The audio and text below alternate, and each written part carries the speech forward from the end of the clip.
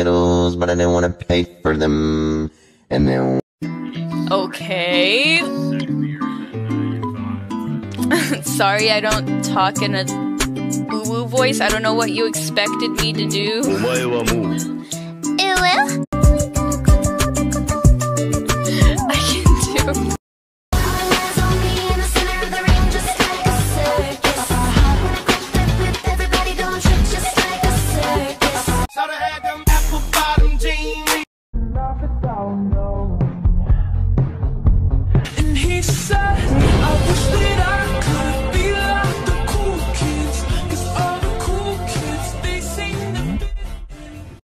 Get me some Skittles, but I didn't want to pay for them.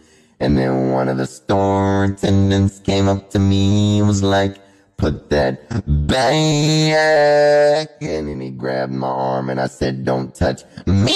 Shoulda had them apple bottom jeans.